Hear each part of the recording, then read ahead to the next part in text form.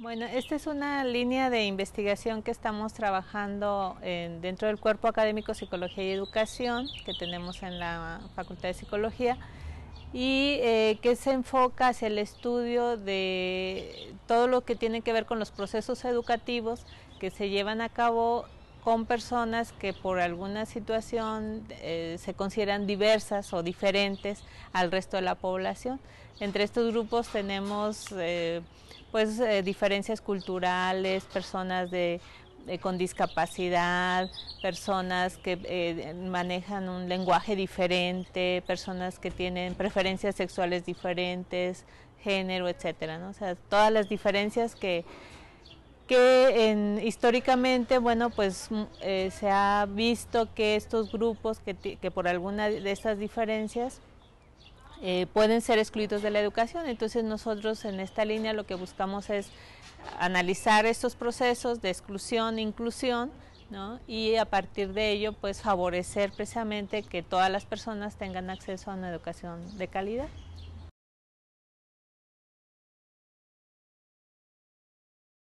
La formación de los profesionales entonces sí es un, reto, ¿no? y es eh, porque implica no solo el que los profesores conozcan, eh, analicen esta situación de, de, cómo se ha dado este proceso de, de exclusión de ciertos grupos y que eh, modifiquemos pues las actitudes que podemos tener hacia las diferencias, aceptando bueno que la diferencia que a veces consideramos como una limitación para el trabajo docente, sea reconocida más como una posibilidad como algo que puede incluso enriquecer los procesos educativos.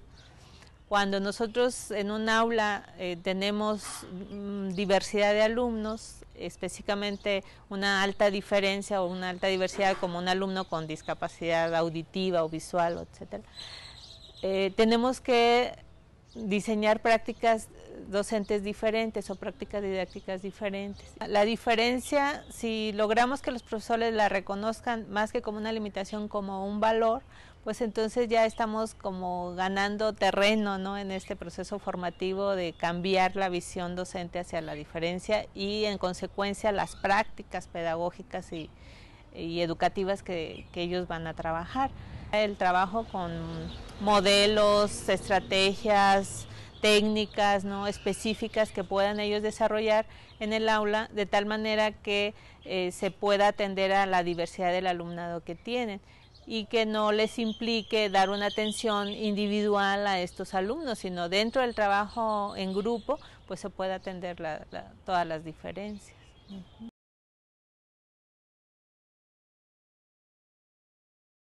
Las eh, pedagogías actuales que no es solamente para cuando se tiene un alumno con estas características, sino que han demostrado su efectividad en cualquier contexto educativo, eh, tienen que ver con el trabajo en colaboración, el trabajo cooperativo entre alumnos, tanto al interior del grupo como en toda la escuela y entre los profesores.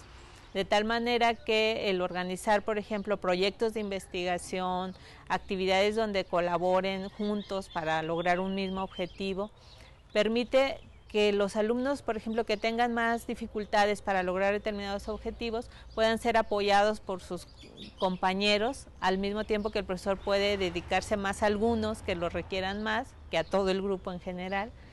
Y además los que van más adelantados pues pueden afianzar sus conocimientos al apoyar a otros compañeros.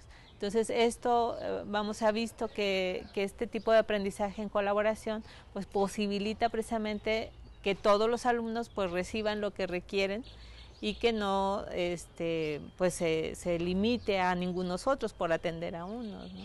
La escuela entonces tiene que eh, tener una visión de, desarrollar una cultura de la inclusión y eh, desarrollar diferentes estrategias para el trabajo con padres y con alumnos ¿no? y con maestros, como decíamos.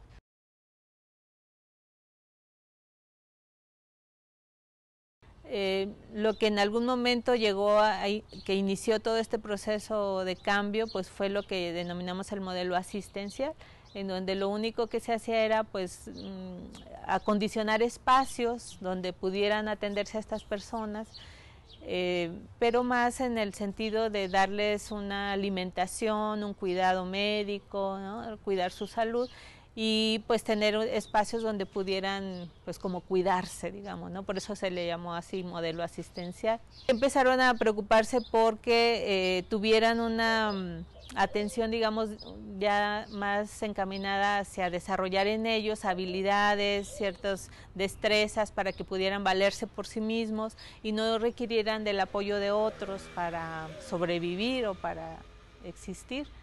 Y entonces este modelo se llamó el modelo médico, ¿no? en donde se empieza a eh, pensar que el desarrollo de las eh, capacidades, por ejemplo, sensoriales, de las capacidades físicas, etcétera, pues sería como la base de un desarrollo, ¿no? en este sentido de autonomía física. El modelo educativo, que fue el desarrollo ya de las escuelas especiales. Las escuelas especiales que, que se, inicialmente pues, se trabajaron de acuerdo al tipo de discapacidad que se atendía, una escuela especial para personas con sordera, escuela especial para personas ciegas, etcétera. Y en esta visión pues estuvo trabajando muchos años, en los 80, sobre todo 70, 80 en, en México tuvo un desarrollo impresionante este modelo. Y, eh, y, en este modelo, bueno, lo que se planteaba era que en estas escuelas los alumnos pudieran aprender eh, incluso ya eh, una, habilidades necesarias para desarrollar un oficio en la comunidad, que pudieran luego integrarse a la comunidad en un trabajo. Sin embargo, bueno, pues poco a poco se van viendo las limitaciones de los modelos y aquí vemos que muchos alumnos pues en realidad no lograban integrarse a la sociedad ya, ni a la escuela regular, porque en algunos casos decía que vayan a la escuela especial y después ya podrán integrarse a la escuela regular, pero la verdad es que no sucedía así. Y se inicia una visión diferente que es el modelo de integración, el modelo integracionista, que eh, pues que actualmente sustenta mucho de lo que se hace en la educación en México, que es eh, ya una visión que, que, dice los niños deben estudiar todos juntos en las escuelas donde les corresponde, en las escuelas regulares, porque son las escuelas este, donde se puede ofrecer una educación de mayor calidad y solamente con apoyos, digamos, de la educación especial, especializados, eh, que se darán en la misma escuela regular.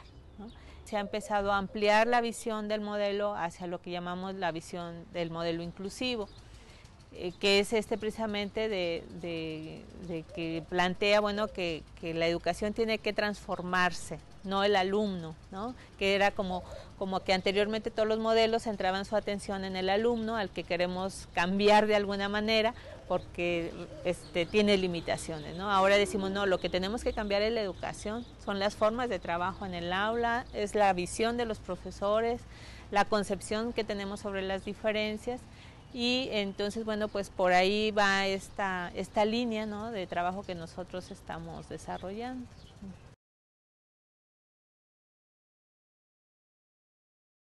Lo que los profesores demandan son estrategias, ¿no? De, ok, sí, yo creo que es importante que estas personas, estos alumnos estén en mis aulas, sin embargo, no sé cómo hacerlo. Entonces sí requiero de estrategias, de visiones, de modelos de trabajo que me permitan dar una atención eh, adecuada a toda la población. Eh, por eso los programas que, que trabajamos van, van en esa dirección, que el profesor a partir de su experiencia, de su vivencia cotidiana en el aula, y de la reflexión sobre ella pueda transformar su práctica.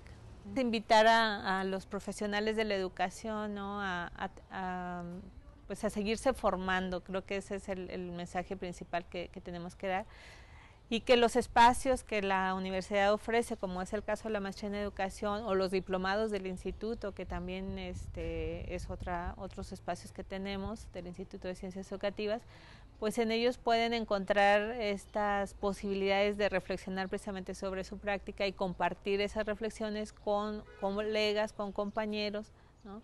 y que les permitan entonces hacer cambios en sus visiones, en sus prácticas, y que bueno, pues estamos para apoyarlos en ese proceso.